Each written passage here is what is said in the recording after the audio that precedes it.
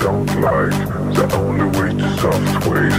We like the only way to hard way.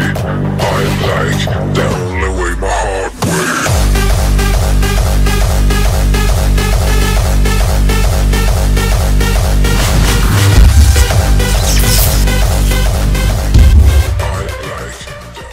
Bueno, señores, Mateus Gamrot ha terminado siendo el reemplazo del reemplazo para la pelea, para, bueno, para el evento estelar del UFC 294. ¿Y por qué digo el reemplazo el reemplazo? Pues hace poco tiempo se había conocido de que Mateus Gamrot, señores, iba a ser el peleador de reemplazo para la pelea entre Charles Oliveira e Islam Makhachev. Él iba a ser el peleador que iba a estar ahí en caso de que cualquiera de los dos peleadores se cayera, pues él iba a hacer un corte de peso, iba a estar viajando a Abu para en caso de que esta pelea se cayera, pues él iba a ser quien diera un paso al frente. Y en ese momento yo pensé y dije, luego de su pelea contra Rafael Vicier, él estuvo hablando, recuerden que él estuvo hablando de que quería enfrentar a Charles Oliveira, ya que él creía de que Islam Makhachev iba a dominar por completo a Charles Oliveira una vez más en esta revancha que ellos iban a tener. Revancha que por supuesto se termina cayendo porque eh, el propio Charles Oliveira eh, ya se sabe que tuvo una lesión en la ceja, lesión sumamente grande, o sea, tuvo un piquete inmensamente grande en la ceja, por tanto y además ha quedado totalmente fuera de esta pelea, de ese evento estelar del UFC 294. Por tanto y además yo dije, Mateus Gambro, señores, eh, hablando, ha logrado llegar a ser el peleador de reemplazo para esta pelea y estar ahí en la conversación, que a mí me pareció un poco raro porque dije, hay peleadores que se merecen más estar en esa posición, peleadores como el propio Justin Gaethje, ¿no? Que viene con esa racha de victorias consecutivas, de dos victorias consecutivas, dos victorias sumamente dominantes. Rafael Ficiel lo domina por completo y a Dustin Poirier, pues ya sabemos esa, esa high que le dio, que lo duerme completamente. Por tanto, yo dije, creo que quien debería estar aquí y quien debería ser el peleador reemplazo por mérito, ¿no? Guiándome por lo que es meritocracia pura y dura, pues debería ser Justin Gaethje, por supuesto. Después lo estuve hablando con Nesty, lo estuvimos hablando fuera de cámara y es lo que Nesty me estaba explicando, me estaba diciendo, es que Gaethje es un peleador de renombre, es un peleador que tiene un caché muy alto, por tanto no lo van a llevar como peleador de reemplazo. A Gaethje, si lo ponen a pelear, va a ser en una pelea que le den una promoción bastante larga y extensa. ¿Por qué? Porque es un peleador que vende, es un peleador que mueve masa, es un peleador que, eh, resumiéndolo, tiene un caché muy alto. Por tanto, era lógico que Mateus Gambro pues era o sería quien, sería el peleador de reemplazo. ¿Qué pasa? Que ahora esta pelea entre Islam Makhachev y Charles Oliveira se termina cayendo como les estuve comentando y eh, yo dije, ahora lo más lógico, ¿no? Sería de que Mateus Ganrup, ya que era el peleador de reemplazo, pues sea quien dé un paso al frente, porque va a ser el peleador que va a estar haciendo un corte de peso, va a ser el peleador que va a estar viajando a Abu como reemplazo. Y esto no termina sucediendo. El peleador que da un paso al frente y que va a pelear realmente ahora contra Islam Makhachev va a ser precisamente Alexander Volkanovski y va a ser precisamente en una revancha anticipada con 10 días de anticipación solamente contra Islam Makhachev. Y esto, por un lado, me parece una locura, porque si bien ya tenías un peleador de reemplazo, no me parece lógico que busques a otro. Pero por otro lado, me hace sentido. ¿Por qué? Porque una vez más te demuestra, señores, de que la UFC, si bien pelean los mejores contra los mejores, normalmente, en el 99% de los casos, pues también hay casos de que no es así. Y aquí muchas veces, lo estaba comentando en otros videos y lo voy a volver a comentar ahora, muchas veces el dinero eh, mueve todo esto por detrás. Si bien esto es una compañía de deportes, es una compañía que te brinda muy buenos eventos deportivos donde hay atletas de alto nivel, también es una compañía que busca hacer show y generar dinero. Y esto es una realidad. Y aquí nuevamente nos lo deja ver.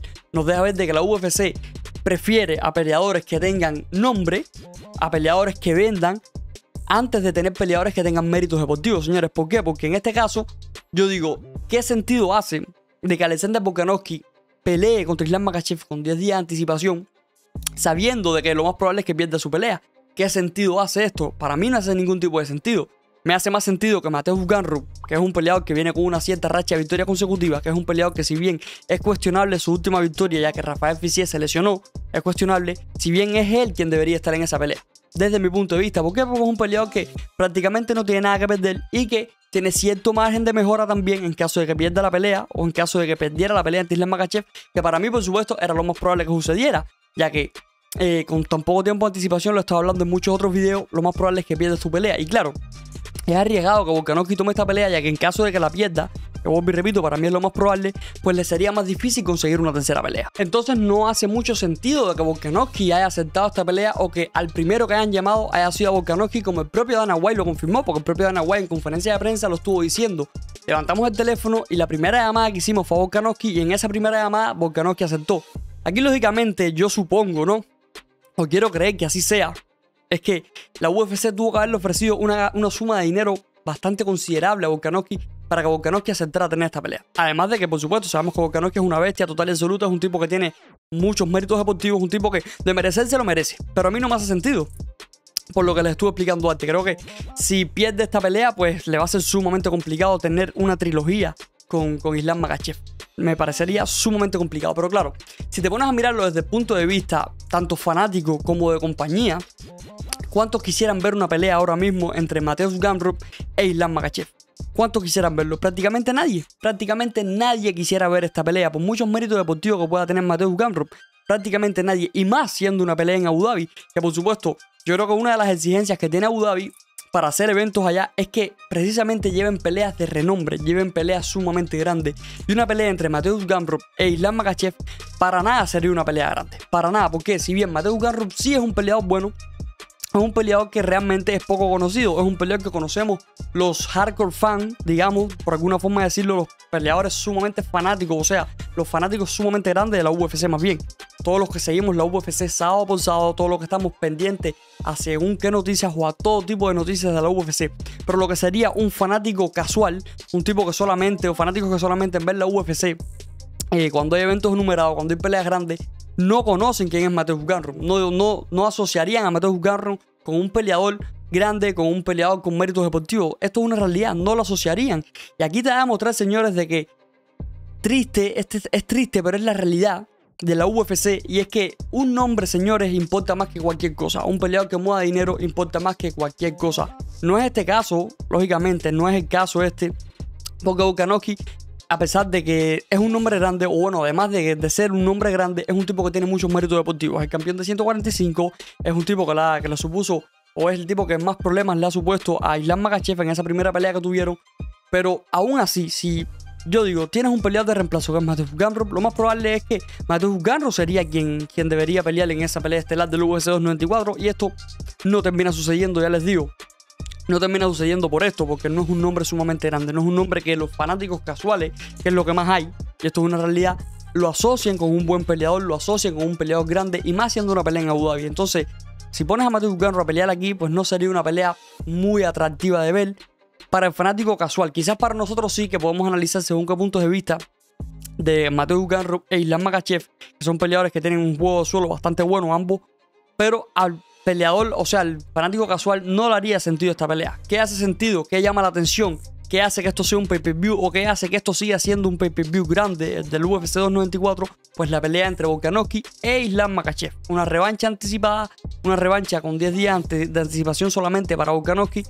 Yo no estoy de acuerdo y seguramente muchas personas no estarán de acuerdo y seguramente muchas personas opinarán lo mismo que yo de que es un camino a la derrota, de que es una pelea donde eh, Alexander Volkanovski tiene unas probabilidades bastante altas de perderla, pero es lo que hay. Es una pelea grande, es una pelea que más o menos, de cierta manera, salva lo que es este evento numerado que parecía ser uno de los eventos más grandes del año o el evento desde mi punto de vista con nombres más grandes de todo el año y que al final las peleas más importantes se le han ido cayendo poco a poco, poco a poco en los últimos momentos. Creo que ahora eh, Mateo Garro creo que va a seguir siendo el peleador de reemplazo. Creo que va a seguir siendo el peleador de reemplazo para esta pelea pero no creo sinceramente que se vaya a volver a caer una pelea. Porque ya si se termina cayendo el, la pelea entre Islam Makachev y Alexander Volkanovski, porque pase cualquier cosa, si se termina cayendo, pues lo, lo mejor sería que cancelen el evento completamente. Lo mejor sería que cancelen el evento completamente y que no lo hagan. Porque ya sería mucha casualidad que todas las peleas grandes, que todas las peleas, tanto estelar como estelar, se le estarían cayendo a la UFC.